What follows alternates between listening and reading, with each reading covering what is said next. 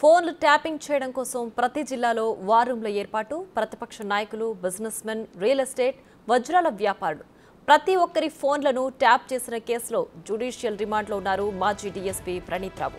చెంచల్గూడ జైల్లో ఉన్నారాయన వారం రోజుల కస్టడీకి అప్పగించాలని పోలీసులు జడ్జిని కోరుతున్నారు. తాను చేసిన అక్రమాలను ఇప్పటికే ఒప్పుకున్నారు ప్రణీత్ రావు. అతని నేరాలకు సంబంధించిన ప్రాథమిక ఆధారాలను సేకరించిన పోలీసులు మరింత లోతుగా దర్యాప్తు సాగిస్తే సంచలన విషయాలు తెలిసే అవకాశం ఉంది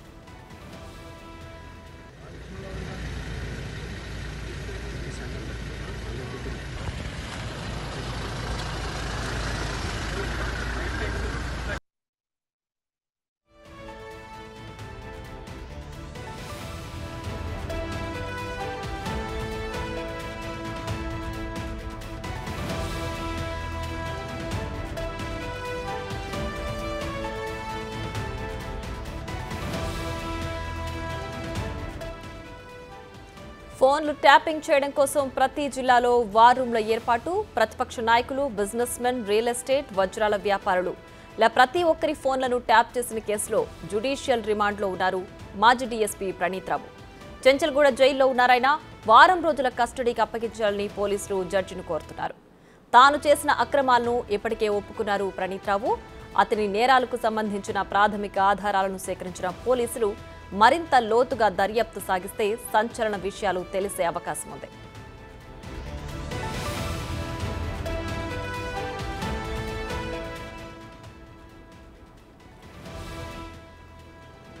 ఇక ఇదే అంశానికి సంబంధించి మరింత సమాచారం. మా ప్రతినిధి రాణా లైవ్లో అందించడానికి సిద్ధంగా ఉన్నారు.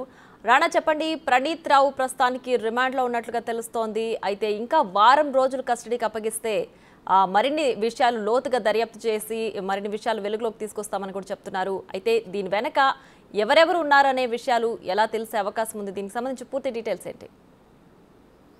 ప్రియా ఈ కేసులో మరో నలుగురు అధికారుల్ని అరెస్ట్ చేసే అవకాశం ఉన్నట్టుగా మనకు సమాచారం వస్తే ప్రణీతరావుకి ప్రతి విషయంలోనూ కూడా వారు సహాయ సహకారాలు అందించారు. పైగా అతను స్వేచ్ఛగా పని చేసుకోవడానికి వారు పర్మిషన్ ఇచ్చారంటూ కూడా అధికారులు విచారణలో నిన్న తెలియని నేపథ్యం అయితే కనపడుతుంది. నిన్న పోలీసులు సుదీర్ఘంగా అతన్ని విచారించిన తర్వాత ముఖ్యంగా ఎస్ఐబిలో ఉన్నటువంటి ఈ కంప్యూటర్లను స్మాష్ చేయడము తర్వాత ఇంటెలిజెన్స్ దగ్గర బట్టి ఏదైతే డేటా ఉందో ఆ సమాచారాన్ని తన వ్యక్తిగత డ్రైవ్లో అతను సేవ్ చేసుకోవడంతో పాటు ఇతరులకి అది అప్పచెప్పాడు దానివల్ల పెద్ద ఎత్తున కూడా అతను డబ్బులు సంపాదించారంటూ కూడా విచారణలో ఆ, సమాచారం ఉంది. ఇక్కడ మరొక ఆసక్తికర పరిణామం ఏంటంటే అధికారులు మామూలుగా ఏదైనా ప్రతిపక్ష నాయకులకు కానీ అలాగే వ్యా- పారిశ్రామికవేత్తలపైన కూడా వ్యాపారవేత్తలపైన పూర్తిగా నిఘా పెట్టమనేసి అతనికి ఆదేశాలు ఇచ్చారని ఆయన చెప్పినప్పటికీ విచారణలో.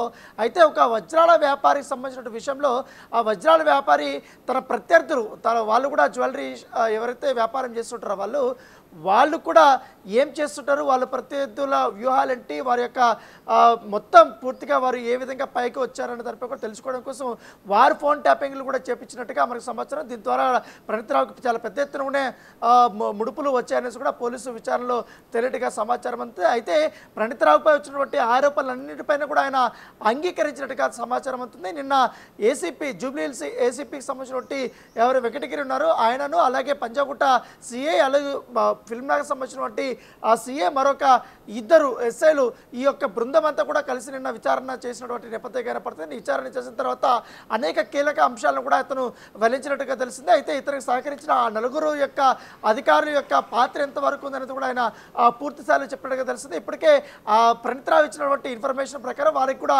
నోటీసులు ఇచ్చినట్టుగా మనకి సమాచారం. వారు కూడా ఈ ఈ రోజు కానీ రేపు కానీ విచారణకి హాజరయ్యే అవకాశం ఉన్నట్టుగా మనకు తెలిసింది. మరోపక్క ఈ విషయం అలాగుంటే ఐదు రోజుల పాటు కూడా కస్టడీ కావాలనేసి కూడా ఇప్పటికే ప- పోలీసులు మరో పిటిషన్ వేసినటువంటి నేపథ్యం ఏర్పడుతుంది. ఇంకా విచారణ అనేది జరుగుతుంది కాబట్టి ఈ కేసు చాలా సెన్సిటివ్ ఉంది. అనేక మంది పెద్దలు కూడా ఉన్నారు పెద్ద వ్యాపారస్తులు ఉన్నారు. వారి ఇన్ఫర్మేషన్ అనేది కూడా చాలా ఇంపార్టెంట్ వాళ్ళ పాత్ర అనేది చాలా ఇంపార్టెంట్ ఎందుకంటే ఇల్లీగల్గా కూడా ప్రణీత్రావు ఈ యొక్క వ్యవహారాలని కూడా చక్కది చక్కదిద్దాడు కాబట్టి కంపల్సరీ కూడా దీంట్లో పెద్దల పాత్ర చాలా ప్రముఖంగా ఉంది. వారిని కూడా పట్టుకోవాలనే ఉద్దేశంతో ఏదైతే ప్రణీతరావుని కస్టడీకి ఇస్తే మాత్రం మరికొన్ని విషయాలు బయటకు పడతాయని కూడా పోలీసులు అభిప్రాయపడ్డారు. ఇదే అంశాన్ని కూడా ఆ జడ్జికి చెప్పినట్టుగా తెలుస్తుంది. ఆ పిటిషన్ కూడా ఇవాళ కానీ రేపు కానీ వాద పూర్తి స్థాయిలో రానా? వాదనలకు వచ్చే అవకాశం ఉంది. చెప్పండి. అయితే ఇప్పటికే ఆ ప్రణీత్ రావు పైన ఉన్న ఆరోపణలను కూడా ఆయన ఒప్పుకున్నట్లుగా తెలుస్తోంది. అయితే ఇదంతా కేవలం ఆయన సొమ్ము చేసుకోవడం కోసమే ట్యాపింగ్ చేశారా? లేదంటే ఎవరైనా ప్రముఖులు కానీ రాజకీయ నేతలు కానీ ఒత్తిడి వల్ల చేశారని చెప్తున్నారా? దీనికి సంబంధించి ఏమైనా డీటెయిల్స్ ఉన్నాయా? రాజకీయ నాయకులు అలాగే అధికారులు వీరు ప్రోద్బలంతోనే తాను ఈ పని చేశానంటూ కూడా ప్రణీత్రావు నిన్న పో- పోలీసుల వద్ద తను ఒప్పుకున్నట్టుగా మనకు సమాచారం ఉంది. ముఖ్యంగా గజ్వేలు అలాగే సంగారెడ్డి వరంగల్ మళ్ళీ తర్వాత మరొక రెండు ప్లేస్ కరీంనగరు నల్గొండ ఇలాంటి ప్లేసులంతా కూడా అతను వార్ రూమ్ను ఏర్పాటు చేసుకున్నట్టుగా తెలుస్తుంది. ఆ వార్ రూమ్లో పనిచేసినటువంటి కానిస్టేబుల్స్ ఎవరుతున్నారో వాళ్ళు కూడా ఇప్పటికే పోలీసులు నోటీసులు ఇచ్చారు. వారిని కూడా విచారణకి పిలిపించడం నేపథ్యం ఏర్పడుతుంది. ఇక్కడ ఎస్ఐబి ఆఫీసులో తనకు అప్పచెప్పినటువంటి పనులు కాకుండా ఇతర వ్యవహారాలపైనే తను ఎక్కువగా శ్రద్ధ చూపెట్టాడు.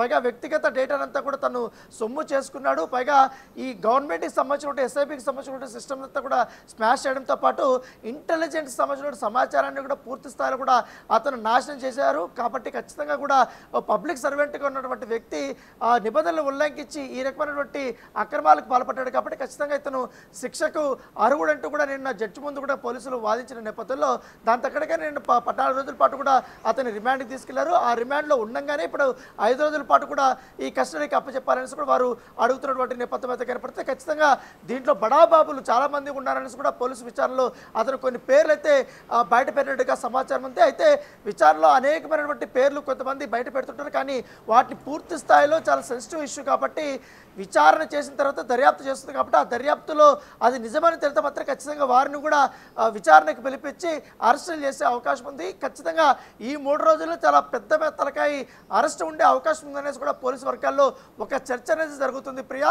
ఖచ్చితంగా ఈ కేసులో ఎందుకంటే చాలా పెద్ద పెద్ద మనుషులు ఉన్నారు.